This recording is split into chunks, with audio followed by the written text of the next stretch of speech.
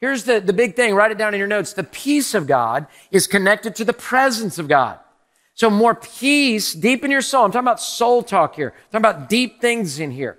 You're not going to find it on Carnival Cruise. You're not going to find it on a trip. You're not going to find it on a fall foliage tour. You're not going to find it going to a sporting event. Those are all great. Love them all. Awesome. Hope you have a great time. All of those things, though, there's got to be a place in which you realize peace requires praying, not playing. And that's why we go on a vacation or we go to an event and we're worn out and we're so tired and it was supposed to give back and it actually took from. And instead, we've got to say there's praying that happens, not just playing that happens. And so that's got to be a part of the deal. I remember we went on a vacation and then we connected with some other parts of our family on vacation. And so they were staying here and we were staying here and we went over to where they're staying. We are going to have a campfire. It's going to be a wonderful time. And so uh, I said, Hey, does anybody have a Bible? This would be fun to read a verse. We have some kids read the verse. And uh, somebody grab your Bible. Nobody, these are all believers. I love them.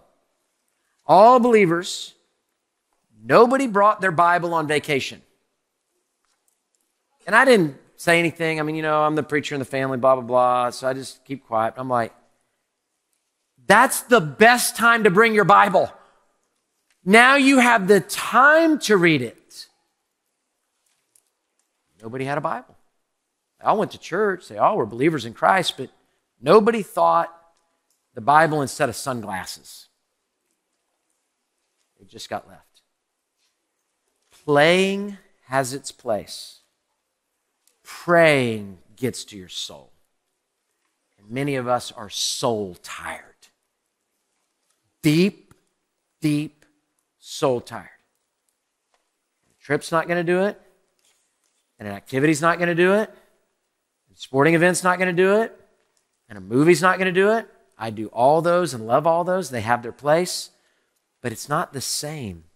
Accidentally missing a meal is not the same as fasting a meal. Having a day off of work is not the same as having a Sabbath. Do you see it? Hey, thanks for watching. To find out more about Houston's First, you can subscribe to our channel or you can go to houstonsfirst.org.